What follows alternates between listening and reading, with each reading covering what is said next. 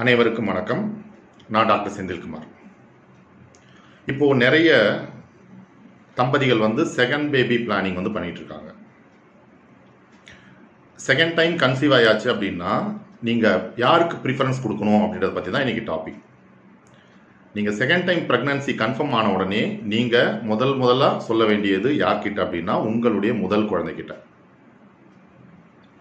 உங்களுடைய முதல் குழந்தைகிட்ட போயிட்டு அம்மா இந்த மாதிரி ரெண்டாவது குழந்தைக்கு வந்து பிளான் பண்ண. அம்மா வயிற்றுல இப்போ செகண்ட் பேபி இருக்கு. அந்த பேபிக்கு நீ தான் இன்னொரு மதராகவும் ஃபாதராகவும் இருக்கணும் அப்படின்னு சொல்லணும் ஏன் அப்படின்னு பார்த்தீங்கன்னா முதல் குழந்தையானது அந்த வீட்டில் சர்வ சுதந்திரத்தோட உரிமையோட எல்லாருடைய அட்டென்ஷனை பெற்றுக்கிட்டு அங்கே இருக்கும். இப்போ நீங்கள் ஆஃபீஸ் விட்டு வீட்டுக்கு வரீங்க அப்படின்னா உடனே வந்து என்ன பண்ணுவீங்க? குழந்தைய தான் தேடுவீங்க. தாத்தா பாட்டி வந்த உடனே என்ன பண்ணுவாங்க? எங்கப்பா பேரப்பிள்ளை அப்படின்னு கேட்பாங்க. அப்போது எல்லாருடைய முழு அட்டென்ஷனும் அந்த முதல் குழந்தை மேலே இருக்கும். இப்போ செகண்ட் பேபி நீங்கள் டெலிவரி பண்ணுறீங்க அப்போ என்ன ஆகும்?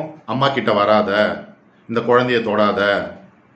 அம்மா தனியாக இருக்கணும். நீ விட்டு விலகி போ. அப்படின்னும் பொழுது முதல் குழந்தை மனசில் ஒரு வித்ராவல் சின்ரோம் சொல்லக்கூடிய ஒரு இடைவெளி வந்து வந்துடும் அந்த இடைவெளியினால முதல் குழந்தைக்கு இரண்டாவது குழந்தை மேலே வெறுப்பு தான் ஏற்படும்.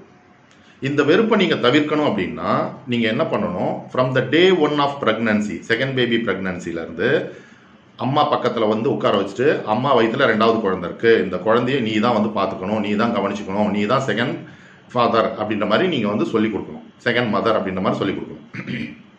ஆஃப்டர் டெலிவரி நீங்கள் குழந்தைக்கு எந்த ஒரு விஷயம் செ- செய்யறதா இருந்தாலும் சரி ஒரு சாதாரணமாக ஒரு குளிப்பாட்டி பவுடர் இது பண்ணுறதா இருந்தாலும் நீங்கள் முதல் குழந்தைய பக்கத்தில் வச்சுக்கிட்டு இங்கே பாரு அம்மா உனக்கு இதெல்லாம் பண்ண இப்போ ரெண்டாவது குழந்தைக்கும் பண்ண போகிறேன் நீ வேடிக்கை பாரு அப்படின்னு சொல்லணும். அப்போது அந்த குழந்தை மேலே முதல் குழந்தைக்கு ஈர்ப்பு வந்து வரும். ஒரு புது ட்ரெஸ் எடுக்கிறீங்க அப்படின்னா முதல் குழந்தைகிட்ட கொடுத்து இந்தாப்பா நீ வந்து தம்பிக்கோ தங்கச்சிக்கோ அந்த ட்ரெஸ்ஸை நீ வந்து கொடு. ஒரு ஆர்னமெண்ட்ஸ் எடுக்கிறீங்கன்னா அந்த ஆர்னமெண்ட்ஸ் வந்து நீ வந்து போடு அப்படின்னு சொல்லி இது பண்ணிக்கணும். நீங்கள் ஃபீட் பண்ணும்பொழுதும் சரி அல்லது நீங்கள் அந்த குழந்தைய பார்த்துக்கும் போதும் சரி இவன் மேலேயும் ஒரு அரவணைப்பு வந்து இருக்கணும்.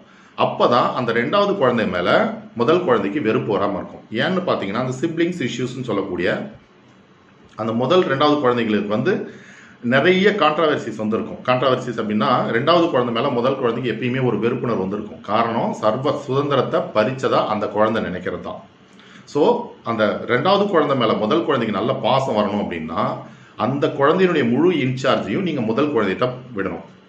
நீங்கள் நிறைய விஷயம் பார்க்கலாம். அதாவது அம்மா அப்பா இருக்கும்போது நல்லா பார்த்துக்கிற மாதிரி இருக்கும். அம்மா அப்பா இந்தாண்ட போன உடனே என்ன பண்ணும்? அந்த குழந்தைய வந்து கிள்ளி விடும். முதல் குழந்தை வந்து ரெண்டாவது குழந்தைய கிள்ளி விடும் அடிக்கும் அந்த மாதிரிலாம் பண்ணும். நீங்கள் அதெல்லாம் வந்து கரெக்டாக மானிட்டர் பண்ணி அந்த மாதிரிலாம் பண்ணக்கூடாதுன்னு பொறுமையாக சொல்லணும். நீங்கள் சண்டை போட்டாலோ அல்லது முதல் குழந்தைய அடித்தாலோ ரெண்டாவது குழந்தை மேலே வெறுப்பு தான் அதிகமாகும். சரியா? இந்த சிப்ளிங்ஸ் இஷ்யூஸ் வராமல் இருக்கணும் அப்படின்னா நீங்கள் முதல்ல பண்ண வேண்டியது முதல் குழந்தைக்கு முழு சுதந்திரத்தோட அந்த ரெண்டாவது குழந்தையை பார்த்துக்கூடிய உரிமையை வந்து நீங்கள் கொடுக்கணும். குழந்தைய பார்த்துக்கணும் குழந்தைய பொத்தி பொத்தி வளர்க்கணும் அப்படின்றதுக்காக நீங்கள் முதல் குழந்தையை தள்ளி வைக்கிறீங்கன்னா அந்த முதல் குழந்தைக்கு ரெண்டாவது குழந்தை மேலே வெறுப்புணர்வு தான் வருமே தவிர பாசம்ன்றது வராது. ஸோ நீங்கள் செகண்ட் பேபி பிளான் பண்ணாலும் சரி அல்லது செகண்ட் பேபி டெலிவரிக்காக வெயிட் பண்ணாலும் சரி you need to give preference for your first baby அப்போ தான் அந்த வீட்டில் ஒரு மூணு பேரண்ட்ஸ் இருக்கிற ஒரு சூழல் வந்து ஏற்படும். இல்லைன்னா பேரண்ட்ஸும் வீட்டிலே வந்து ஒரு எதிரியும் வந்து உருவாகிடுவாங்க. அதனால் நீங்கள் பிளான் பண்ணுறீங்க அப்படின்னா நீங்கள் உங்களுடைய முதல் குழந்தையை கூப்பிட்டு முழு விவரமும் சொல்லி என்ன நீ தான் இந்த குழந்தையை பார்த்துக்கணும் அப்படின்னு ஒரு சார்ஜ் கொடுக்குறீங்க அப்படின்னா அந்த முதல் குழந்தை பொறுப்போட ரெண்டாவது குழந்தைய வந்து பார்த்துக்கும். நன்றி வணக்கம்.